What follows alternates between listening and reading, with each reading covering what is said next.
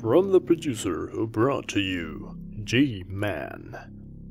This time, in a world driven by powerful elements, spinning around to change the world we know. In the end, never expecting the massive destruction it would ever cause to our puny lives. Hold your breath and prepare for the next journey of